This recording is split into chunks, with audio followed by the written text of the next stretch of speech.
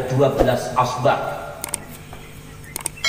Fangfajarat min husnata asrata aina maka Allah memunculkan pada waktu Nabi Musa itu ngetukkan tongkatnya muncul 12 mata air aibi hasabil asbat kata Imam Suyuti disesuaikan dengan anak Fam keturunan mereka Fam. Jadi yang memiliki Fam itu adalah Yahudi. Asbat itu Fam. Fam ini Fam ini Fam ini makanya Allah pun ketika memerintahkan Nabi Musa mengetukkan tongkatnya muncul itu 12 mata air bihasabil asbat asbat itu adalah anak keturunan yang masih saudara itu yang sekarang Fam itu ini famnya ini, ini famnya ini. Makanya yang punya fam itu biasanya Yahudi. Makanya ketika seumpama Ba'am itu punya fam, itu ada kaitannya secara ilmiah itu dengan Yahudi ada famnya. Nah kalau kalau kita dari Sayyidina Hasan dan Husain, ulama sudah mengatakan ma'indahum tamayyuzat. Ulama sudah mengatakan bahwasanya cucunya Sayyidina Hasan dan Sayyidina Husain itu tidak tamayyuz, tidak punya tamayyuzat, tidak punya ciri yang membedakan, tidak punya fam yang membedakan. Jadi kalau saya ditanya famnya apa, nggak punya fam saya. Famnya siapa ya Al Husaini saja. Sebab apa? Sayyidina Husain dan Sayyidina Hasan keturunannya nggak punya fam. Itu menurut para ulama ma'indahum tamayyuzat. Tidak ada tamayyuz satu fam yang membedakan bahwa ini adalah Sayyidina Hasan dan Sayyidina Husain. Paling-paling hanya julukan Sayyid dengan Syarif saja. Paling-paling hanya julukan Al Husaini dengan Al Hasan. Fam nggak ada. Makanya semua kalau kalian lihat Sayyid, Sayyid dan Syarif, Syarif di mana-mana tuh nggak ada fam. Kadang-kadang malah nggak. Alnya kalau nisbatnya kadang nisbatnya nisbat kampung. Ya contohnya Sunan Ampel Al Jawi. Punya bapak Sunan Ampel itu eh, Sayyid Ibrahim As-Samarqandi Samarkand.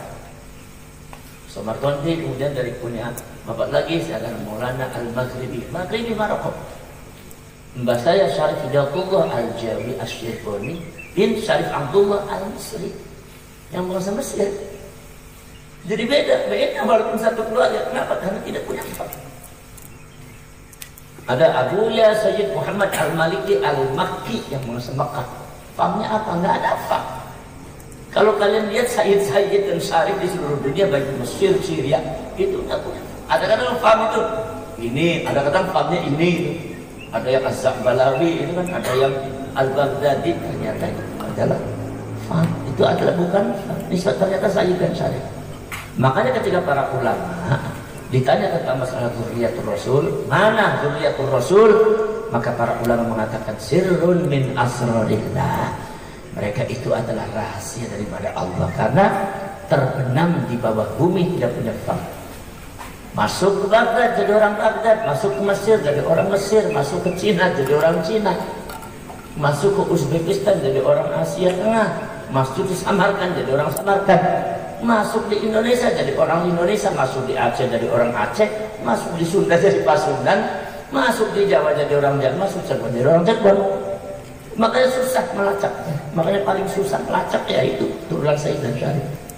Maka ada uh, ada ada ada di antara informasi seperti ini. Ketika Ba'ali itu kemudian mau menisbatkan dirinya kepada Sayyidina Husain, maka daripada ulama-ulama para ashraf dan sada ini bertanya kenapa mereka punya fam. Kok ada Segaf, ada Atas, ada Bin Yahya, itu kalau dilihat dari karakter ya, dari, dari karakternya seperti itu. Walaupun yang pembuktiannya harus data ya, tapi karakternya kok nggak sama dengan karakter Al Husaini dan Al Hasan. Saya punya guru namanya Imam Abdul Hasan Ali Al Hasan An Nadwi Al Hasan. Sayyid An Nadwi itu adalah Nadwatul Ulama itu apa namanya? E, pondoknya, pesantrennya. Jadi kalau ditanya Al Husaini dan Al Hasani punya faham tidak tidak punya faham. Tidak ada. Makanya kalau ditanya fahamnya apa? Yang nggak ada fahamnya. Ma'indahum kana wa ma'indana tamayyuz. Tidak, tidak. Nah, maka dari itu ini.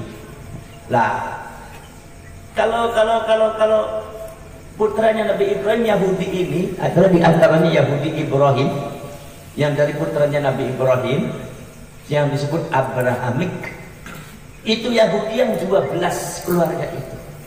Yang dari Nabi Yakub. Kemudian ada Yahudi Razali.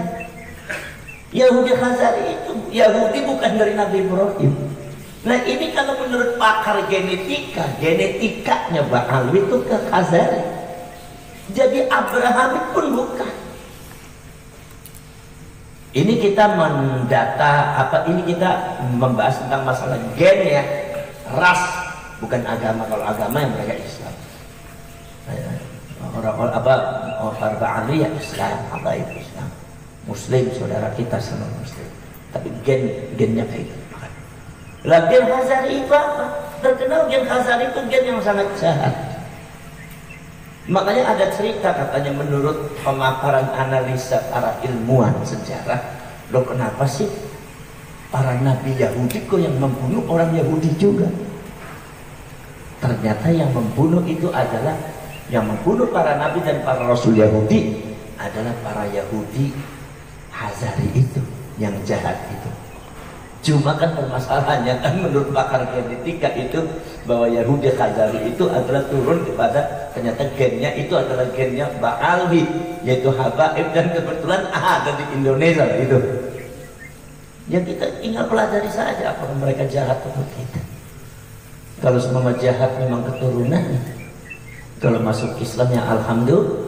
Kalau pakai akhlak Islam bagus, tapi kalau sama mereka jahat ya kita supaya jangan kaget aja kalau kita tahu tahu ceritanya seperti itu. Cuma kan kita harus memiliki pertahanan jangan sampai kejahatan mereka merugikan kita sebagai bangsa Indonesia.